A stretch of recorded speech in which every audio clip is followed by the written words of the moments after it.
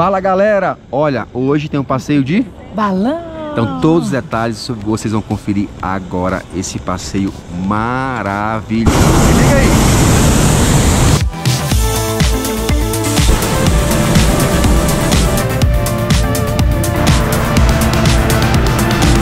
Fala galera, o passeio começa aqui na cidade de Alto, Alto Paraíso, Paraíso do Goiás.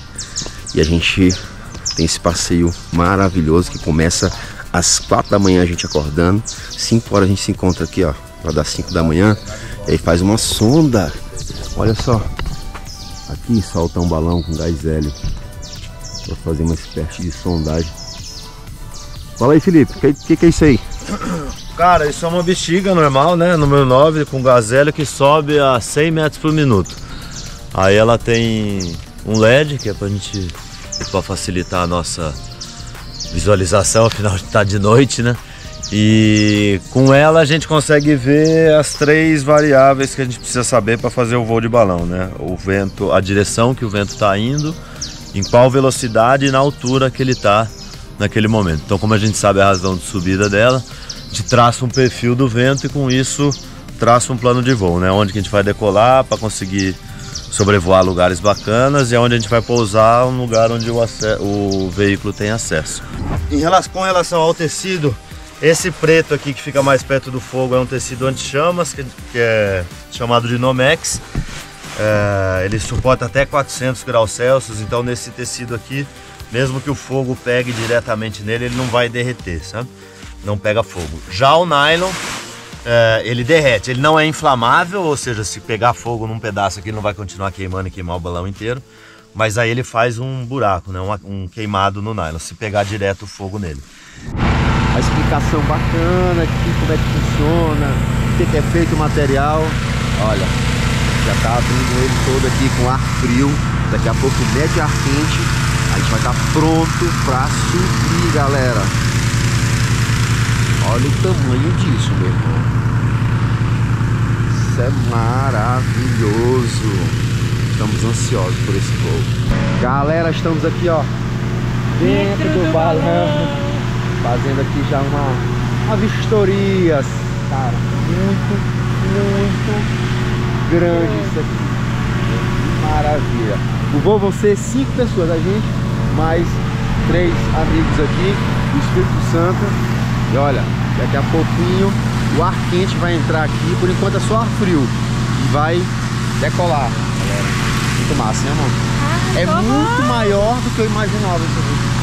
Muito, muito, muito.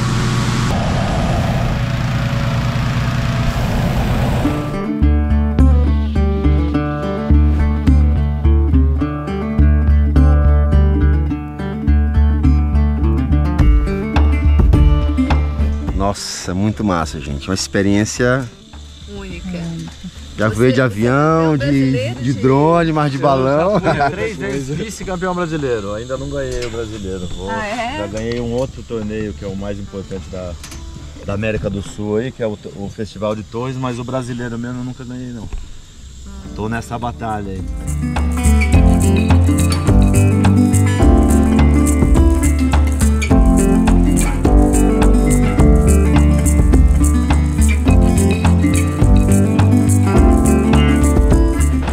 Olha, no Brasil, poucos lugares faz balonismo.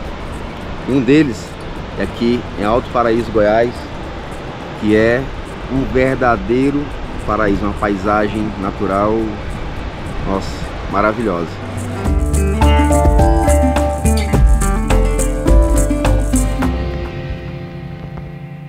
Fala aí, Felipe, qual a nossa altura agora? É, cara, a gente decolou a 3 mil pés, estamos a 6.400. Estamos aí a 1.100 metros do solo. 1.100.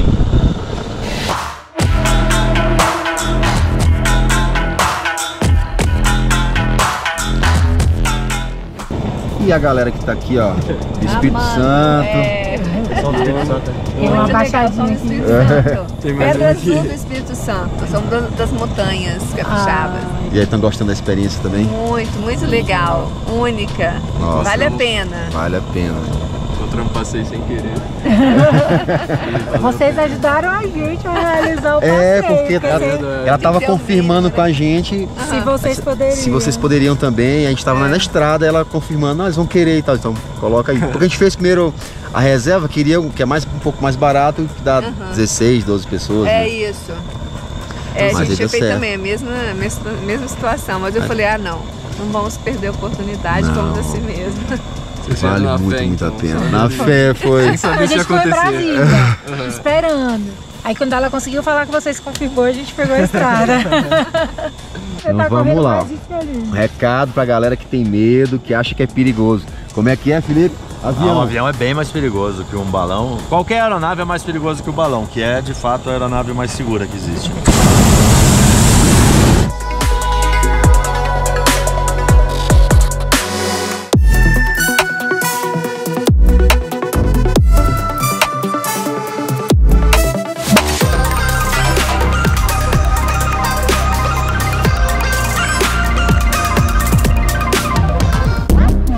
Galera, já prepara aí que daqui a pouquinho tem. Vamos pousar. Vamos fazer todo o procedimento aí. Quanto tempo de voo? Mais uma hora já, né? Boris, Uma hora e cinco de voo.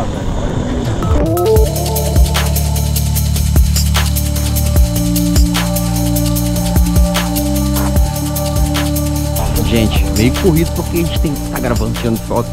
Mas foi maravilhoso, hein, amor? Ai, eu amei. Nossa, olha aí. 24 metros, não é isso? 42 metros? Não, é 24 metros de altura esse balão aí. Maravilhoso, gente. Amo aí, amamos, amamos. É, por que, que nós vamos fazer um brinde com champanhe aqui então, galera? O champanhe, o primeiro voo de balão da história foi feito no século XVIII, é 21 de novembro de 1783. E esse voo foi feito em Paris, tripulado por um cara que o nome dele era Pilatre de Rosier. É, nós que hoje em dia voamos ah, alguma aeronave, levamos o nome de piloto, a palavra piloto vem de Pilatre. Que Pilatre foi o primeiro piloto de fato assim da história, né? O primeiro cara a, a sair do chão voando numa aeronave construída pelo homem. E é óbvio que isso foi um puta feito para a época e chamou a atenção de boa parte da população lá parisiense, como da corte francesa. Luís VI era o rei da França na época. E ele foi, junto com boa parte da corte, acompanhou todo o voo pessoalmente, foram seguindo por baixo e foi até o local do pouso para ver se Pilato estava bem. Como ele viu que o Pilato estava super bem e feliz e satisfeito e, e, né, realizado de ter feito aquele primeiro, que foi um puta feito para a história da humanidade, né? Eles tiraram uma garrafa de champanhe lá e, e brindaram no local do pouso. E foi assim que nasceu essa tradição. Então ela vem desde o primeiro e também os primeiros pilotos que eram também franceses costumavam levar uma garrafa a bordo no cesto e eles ofertavam no dono da terra onde eles pousavam. Uma maneira de tentar ser mais é, manter as portas abertas e de ser mais bem-vindos onde eles pousavam. Então a gente repete esse ato de licença, uma maneira de celebrar com vocês ao mesmo estilo do primeiro. E eu espero que isso fique marcado aí na vida de vocês e que vocês possam voar de balão outras vezes, né? Se não comigo, é, em outros locais aí do Brasil e do mundo. Quem sabe sozinho. Quem sabe? Quem? Uhul! Eu tô aqui para instigar em vocês isso aí mesmo, a vontade de ser piloto. É a minha missão. Valeu, cara. Servir a dama aqui primeiro. Espero que sua missão não seja bem cumprida. É mesmo? Eu sou Pô, a mãe, então. Boa. Minha mãe ama me ver voando. Nossa. Com bastante segurança. É, né? pô, lógico. Muito segurança. Eu tenho 2.600 voos na minha vida, cara. Nunca fiz um arranhão, nem em mim, nem ninguém que voou comigo. Que bom. Graças a Pra finalizar aí com chave de ouro. Cara, obrigado. Pô, valeu demais. Tô passando pra galera aí já o contato de vocês. Obrigado pela recepção. Maravilha. Todo mundo será muito bem-vindo aqui no Céu da Chapada, voando com a gente. Na hora. Valeu, Qualquer galera. momento. E vocês que já voaram, se um dia voltarem a voar, eu cobro metade do preço. Segundo voo. Gente, o que, que é bacana de falar aqui? A gente marca galera. Tem três passeios. De casal, de até seis pessoas que a gente fez. E tem também um passeio de 12, 16 pessoas. A gente não, consegui- não conseguiu fechar o grupo de 12 que saiu a média de 690. Esse que a gente fez saiu 890 reais. Ah, é caro? Cara, é, pro passeio, pra experiência, é bem acessível. Então a gente pode se programar, pagar com antecedência. A gente deu sorte que a gente combinou de fazer, não achou muita gente, não foi obrigado a fazer de, de casal. Conseguiu mais três pessoas que estavam já agendando com eles. A gente conseguiu fazer aqui, ó. A cidade é Alto